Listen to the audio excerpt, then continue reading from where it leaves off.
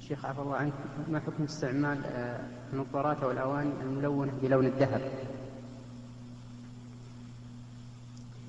الأواني المطلية بالذهب إن كان يجتمع من هذا الذهب شيء إذا عرض على النار يعني إذا قال الصائغ هذا الذهب لو عرض على النار لاجتمع منه شيء فإن المطلي بها محرم لأنه استعمال لذهب نعم فإن المطلي بها يحرم استعماله في الأكل والشرب لأنه يستعمل الذهب حقيقة.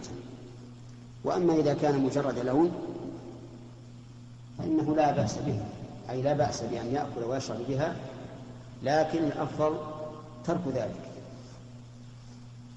الأفضل ترك ذلك لماذا؟ لأن من نظر إليه وهو يأكل فقد يسيء به الظن ويقول هذا الرجل يأكل بآنة الذهب. ومن نظر إليه فقد يظن ذلك ذهبا خالصا فيقتدي به.